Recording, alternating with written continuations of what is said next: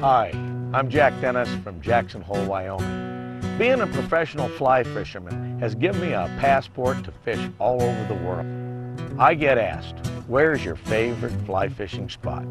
That's an easy question. It's right here in my own backyard in Wyoming. I've been a fly fisherman for over 50 years. I've been in the business of teaching people to fly fish for over 40 years. What is fly fishing? To catch a fish on a fly rod, you must learn the art of fly casting, working the line into the air and directing it forward to a gentle landing on the water. Attached to the heavier fly line is a clear, tapered nylon leader to which is tied a handcrafted artificial fly made from feathers and fur, created to represent insects and minnows, fish food. What is the appeal of catching a fish on a fly? First, you must enter the fish's world and find where he lives, what he eats, and how he feeds. In this concentration on nature, you become lost in the challenge and the beauty of fly fishing. A certain dialogue with nature is born. You are far from the trappings of civilization and the worries of earning a living. Your mind is clear, and no one has as much fun as a fly fisher. Yeah!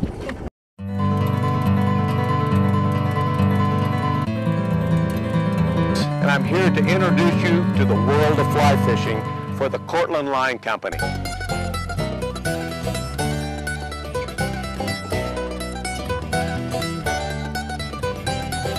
You think fly fishing is a trout thing, but I'm here to tell you it's not.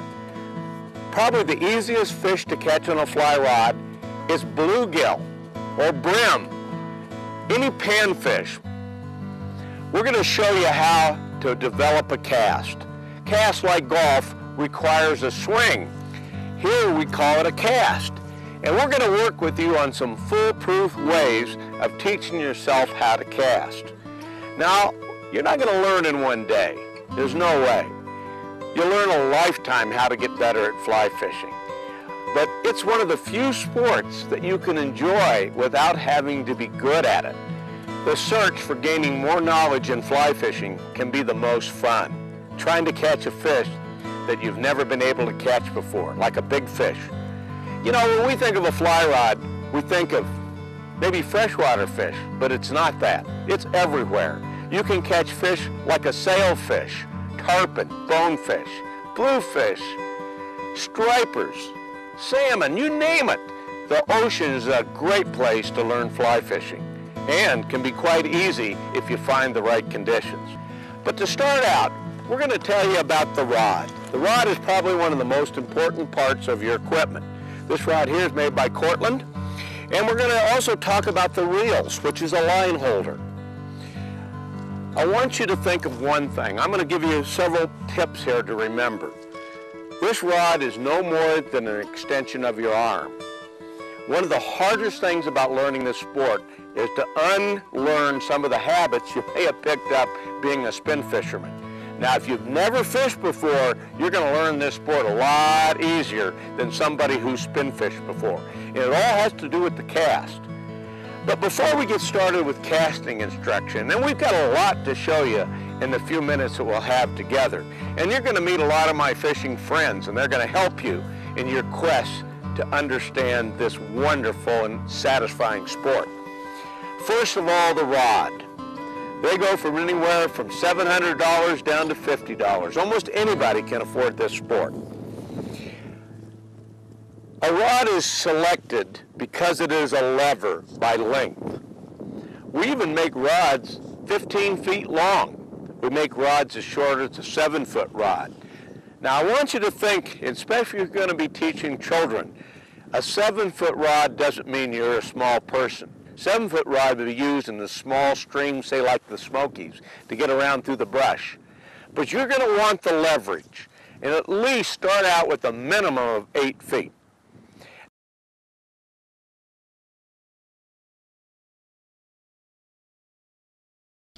It's a graphite rod. When we're connecting this, we want to make sure that our guides line up.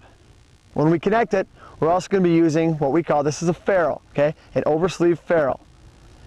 Connect it just like that, cinch it down nice and tight. Now you see how my guides are all straight and all lined up. That makes your casting a lot easier. If it's turned even the slightest bit, even halfway, just like that, it's not going to cast very well. It's going to be tough for you to cast. So we make sure those are nice and straight, nice and snug, just like that. Here's your weight of the rod. Here's the length of the rod. When I'm talking about weight of the rod, you can go anywhere from a 0 to a 15 weight. Watch how this bends. See that right there? See that right there? That's a six weight rod. That doesn't bend a whole lot. There's not a lot of give to that. Let's say I had a three-weight rod, this thing would be bent all over. I could take that thing and I could pretzel it up. That's the difference in your weight rod. If you have a 15 weight rod, that baby's not gonna hardly move at all. It's gonna be real stiff. So that's the difference in your weight in the rod.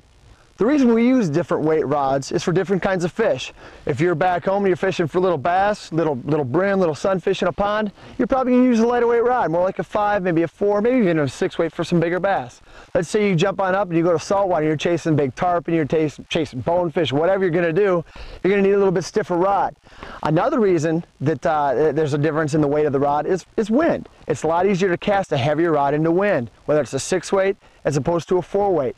Get a little bit more, little more stiffness in that rod, it's easier to cast. That's why there's different weight rods. Now let's go on to the reel seat. Here's our reel seat right here. Back, I'm gonna come here and I'm gonna get my reel, and I'm gonna show you how to connect this guy. On your reel seat, there's gonna be two little inlets, okay? Here's one. Boom, your reel goes right in there, okay? Hold that there, and right here you got it, up. It, it moves up and down. This is where you're gonna pinch the bottom of your reel onto your reel seat. Boom, right there. This knob right here, turn that all the way up, nice and tight. So your reel sits on there nice and tight. What you don't want to have happen is that if that's a little bit loose and you start casting and reeling, this gets loose also. You see how that's moving around now? That's what you don't want. That's why I want to make sure this is nice and tight. As you can see, this reel right now, my handle is on my left-hand side. That's the way it comes. That's the way you're going to buy it. If you want to reel with your right hand, you're going to have to look at your instructions. Most guys cast to the right and they're going to reel with their left. That's why it's set up this way. I should tell you before we get going on this that if you want this fly line to last you a little bit longer, you got to clean it. Very easy to clean. Some soapy water in a rag. And what you could do is you could strip all this line out, grab it like this, and when you're reeling, when you're cranking your line back on, you can hold that rag right here with your pincher finger, right there with your line, just like that, and you can reel that up and that's going to clean your line as you're putting it on. That helps out too because it gets back on there nice and straight. You have a nice fresh start the next day when you're up. Most fishing. guys cast to the right and they're going to reel with their left. That's why it's set up this way. Just a drag, just like that, and you pull. See how much harder that is to come out? Just like that. That's the adjustable drag. Use that for the type of fish you're fishing for, whether it's a small fish or a big fish. You can adjust it before you cast. You can also adjust it while you're fishing. If it's a little bit bigger fish you catch and it's running, you can quick adjust that drag while you're fishing. Kind of a nice little feature on a reel. Um, next thing we're going to talk about too is you can palm this reel. As the line's coming out, you can use your palm as kind of an, a, a drag also. Reels need not be expensive, but it's always a pleasure to have a reel that's very, very smooth and will work just kind of a luxury. Now that you understand the rods, we're going to talk about the fly line because that's the next most important part because this line has weight to it. Now in spin fishing, we use the lure to launch and pull the line out. In fly fishing, we have to cast the line and that pulls the fly along. And we've got other factors like wind, as you can see a little breeze coming up here on the South Fork. And the line helps us because we shoot the line. We cast the line by holding it up, then shooting it. Having a good clean line is important. And I want to take you through the types of lines. Now, it's not going to be so important as you start in the beginning, but you should understand that some lines float and some lines sink. And it'll help you understand fly fishing a lot better.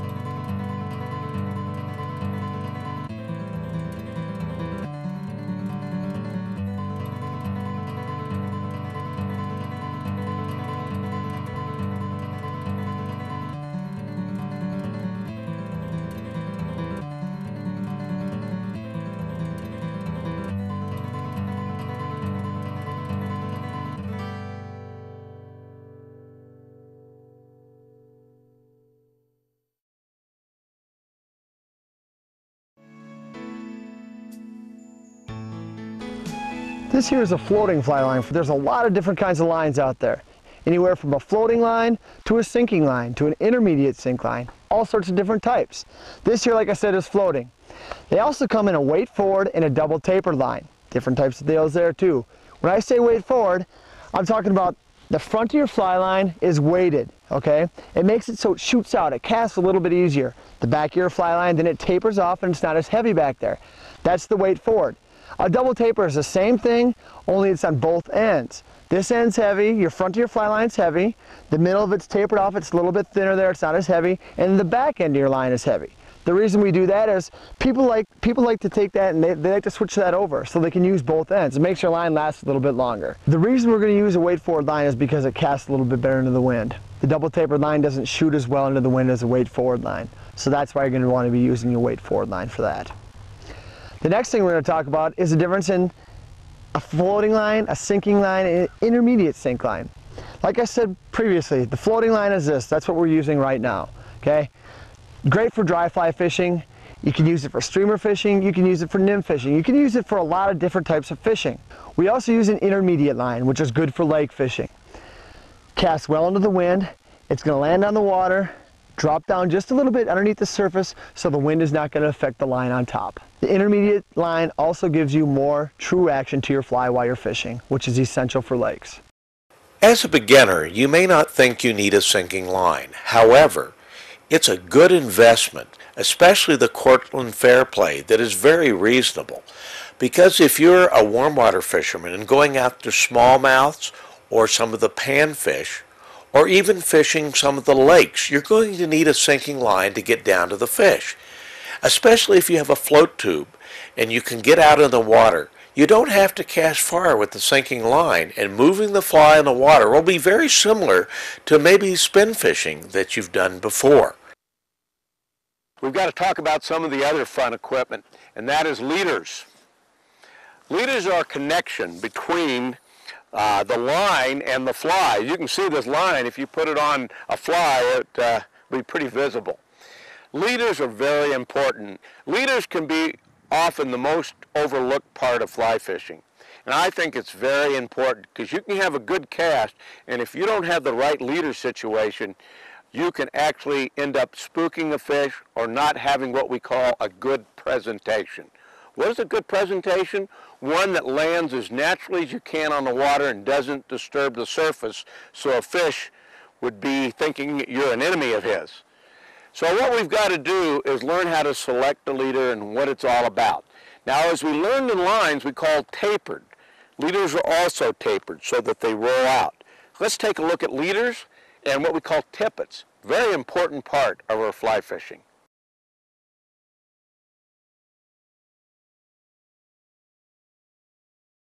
We've talked about fly lines. A lot of people don't realize that a very important piece of equipment is the fly leader. This is the monofilament that we attach to the fly line and it becomes the connecting link between the line and the fly itself. And it's a very important thing. It needn't be complicated, but it's something you really have to give consideration to. Let's now talk about leaders. Like your fly line, it's tapered. And it comes in two styles. It can either be a knotted leader, built in sections, or one complete drawn leader, tapered, thick to thin. Now let's take a look at leaders.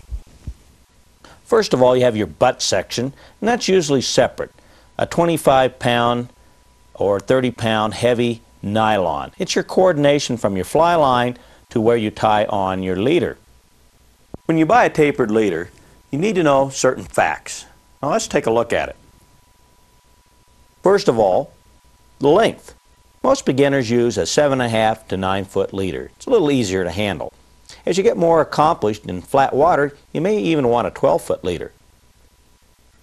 This confuses a lot of people. 3x. That means the diameter of your tippet. And what your tippet is, is your end of your leader. Just right here, where you attach your fly. So this means the, the diameter of the tippet is 3x. And they vary in poundage by the types of leaders. This particular leader happens to be 6.5 pounds at 3x. Now here, pay attention here. When you go up to 6x and 7x, that's a smaller diameter for use with smaller flies. When you drop down into, say, 4x to 3x, then you're getting a thicker diameter and a heavier leader, and consequently a higher poundage. When you buy tippets, usually you have to get a good selection. And again, you still use the same criteria.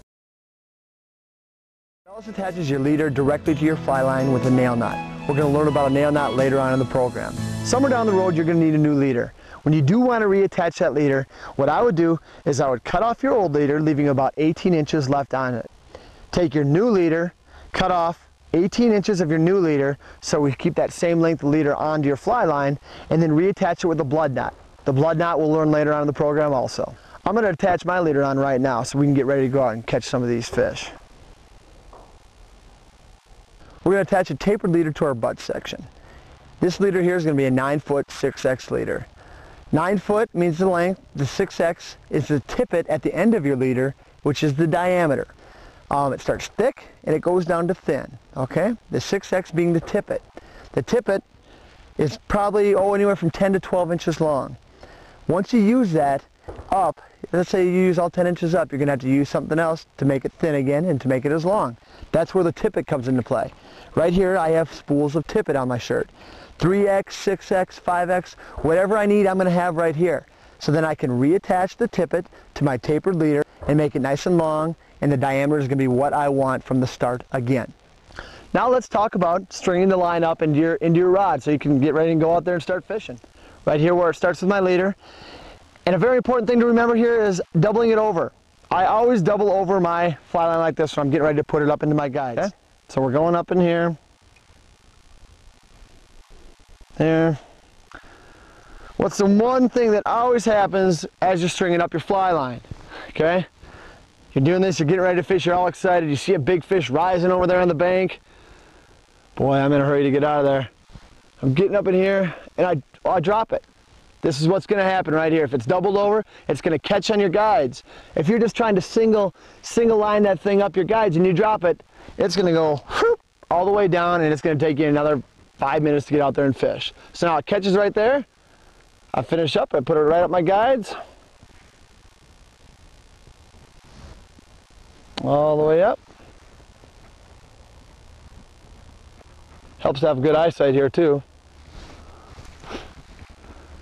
All the way up, pull your leader through, and your fly line down, just like that, and you're all ready to go. Now you're all strung up, those fish are still rising over there and let's go get ourselves a fish.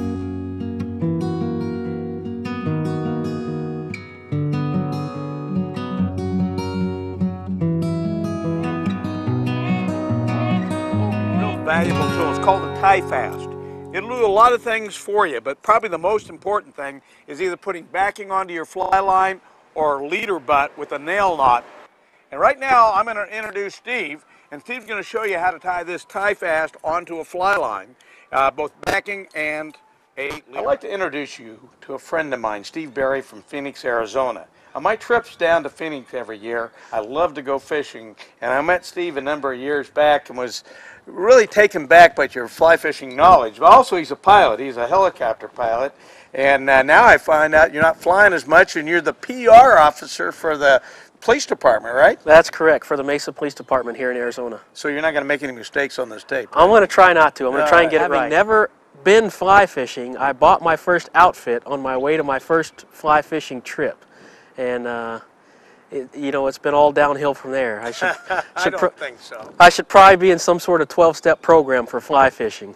You'd like to see more black fly fish, wouldn't you? Oh, absolutely. It's a great hobby. It's a great sport. I think just the fact that a lot of people haven't been exposed to it, uh, much like myself, you know, had I not had that friend that day that introduced me to it, I might not be fly fishing You know, today. I have I have several friends out in California, actually presidents of their club, that got in it the same way you did. Well, you I- know? Ironically, I am the president of the Desert Flycasters. Oh my which is- gosh!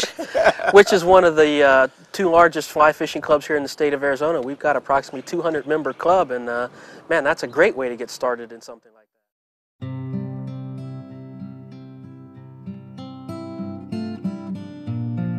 Okay, Jack. Now what I'm going to do is go ahead and show you how to use the, the uh, tie fast It fits really nice uh, just into the cross the crease of your fingers. It's got a great spot on the top for your thumb. That's going to be very important.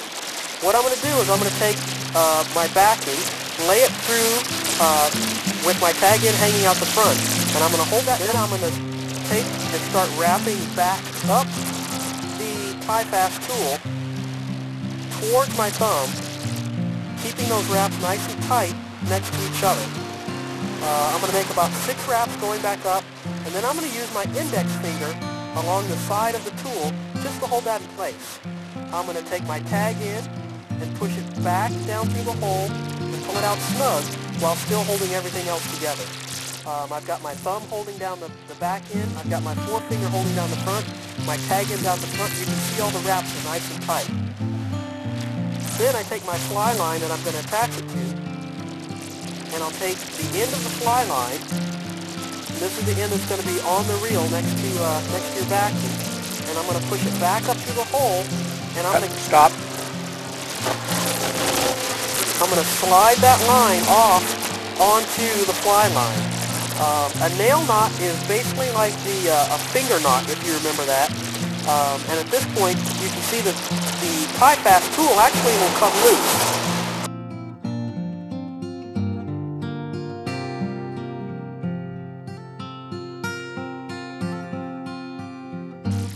Exactly the same way that we did this will be the way, and it, it's going to end up uh, looking like this. As you can see, the monofilament and the uh, the leader knot. And this is done by a tool. Now, if you do it by hand, you're not going to have nearly uh, as much success. Now, most fly shops will do this for you, uh, but you may not be near a fly shop, so you should learn how to do it. Now, Steve's going to come in here and show you another knot. Then his partner in crime, Cinda, is going to come in and show you some really cool knots to attach your fly to the tippet or leader.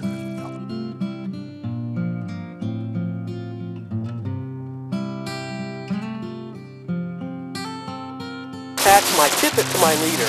Uh, found it to be a very strong knot, very easy to tie, especially when it's cold out and uh, we're in those fishing situations that aren't always ideal. What I'm going to do now is I'm going to act as though the, the orange piece of fly line um, is my leader and the yellow piece of fly line is going to act as my tippet here.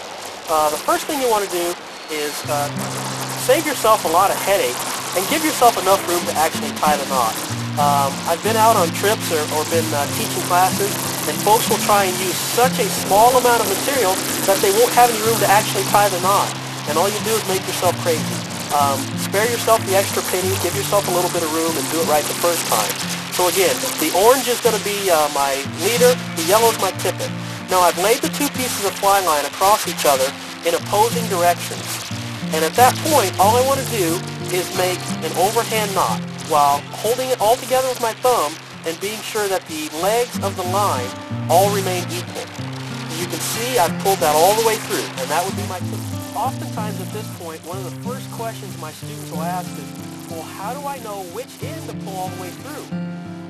In the real world, that's usually pretty easy to pick up because usually there's a nine-foot fly rod and a reel and everything else attached to the other end. You'll know very quickly which end you're going to need to pull through. Um, I've already made that first overhand loop. Now I want to go ahead again while keeping everything equal, make that same loop and come through a second time while holding on everything and being sure that